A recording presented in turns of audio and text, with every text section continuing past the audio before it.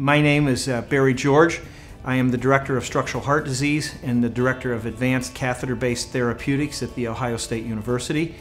Um, I have a background in engineering as well, and uh, I combine uh, what I call commercial and residential plumbing.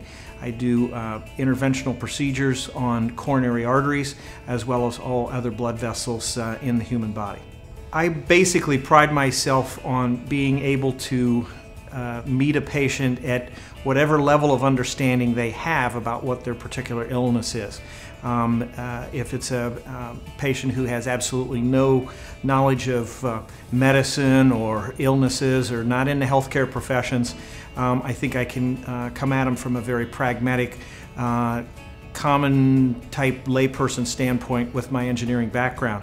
Whereas for people who are coming from more of a uh, medical background, uh, I can relate to them on that level as well. The most rewarding part of my job is knowing uh, that every day that I'm here, um, I've had the opportunity and privilege to have major impact on uh, individual patients' lives. The other thing that is so uh, exciting for me is the uh, seeing young physicians uh, grow and blossom into very talented, bright young people and taking care of future patients.